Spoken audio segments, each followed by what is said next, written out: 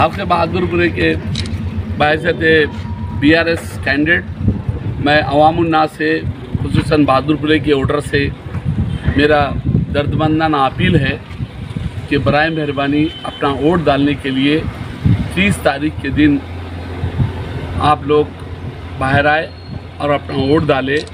आपके हक़ रायदही से ही आवाम का फ़ैसला आएगा और खसूस अब की बार अगर आपका वोट आप डालते हैं तो एक लीगली वोट होगा, तरीके से जाएगा। और खसूस अब की बार commissioner Hyderabad, election commission, Telangana, ये बात के अहकाम ये कोशिश कर रहे हैं हर बुथ के अंदर रिगिंग करने वाली शख्सियतों के बाबा फ़ोटो लिए जाएँगे और उन्हें छः महीने की जेल हो सकती है। रिगिंग के तरफ़ तवज्जो ना दे ओरिजिनल वोट्स आप लोग घर से निकल कर बर मेहरबानी वोट डालें। और खसूस हम बार बार हर घर पहुँच कर ये कोशिश है हमारी कि वोट निकाल कर आवाम को बाहर लाए और वोट दिलाने की कोशिश करें। क्योंकि पुराने शहर का काफ़ी इलाका, मैं बार बार कमिश्नर इलेक्शन कमीशन से और पुलिस कमिश्नर से अपील कर रहा हूँ कि बहादुरपुरे के काफ़ी इलाके जहाँ पर पोलिंग बूथ में रिगिंग होती है और पोलिंग ऑफिसर्स मजबूर हो जाते हैं, उन्हें बाबा डराया, धमकाया जाता है।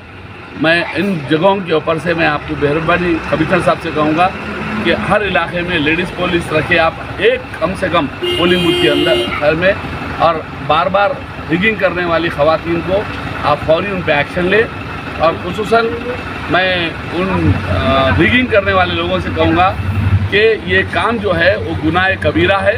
किसी के भी शौहर का या किसी के भी नाम से फलां की बीवी हूँ या फलां की बेटी हूँ, कहकर वोट डालना, ये गुनाह कबीरा है, हराम है।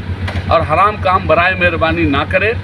आप हक ईमान से, जिसको भी चाहे वोट डालने का हक ईमान से अपना वोट डालें और घरों को जाए।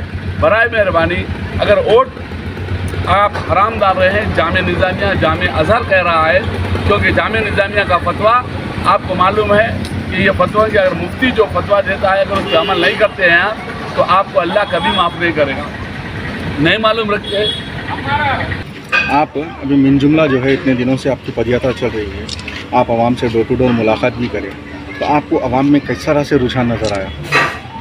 अगर हक व शहादत के साथ अगर ईमान के दर्जे पर अगर कोई इंसान अगर पहुँच कर बेमानी नहीं कर कर और खसूस किसी दूसरे वोटर का हक नहीं मार कर अगर वोट डाला जाए, वो वोट मैं गारंटी देता हूँ, हल्के बहादुरपुरा, मैं बायसत कैंडिडेट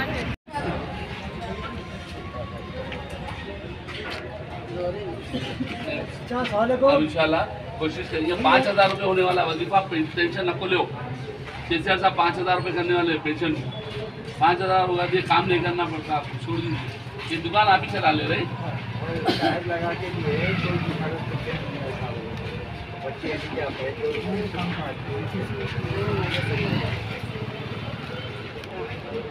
बेटियाँ हैं सात साढ़े सात सात साढ़े सात हाँ ये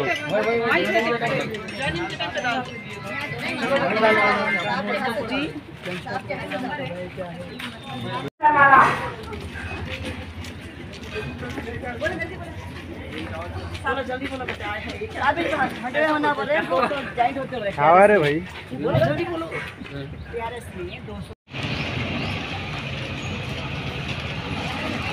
हाँ है। क्रिकेट का एक्सपीरियंस है।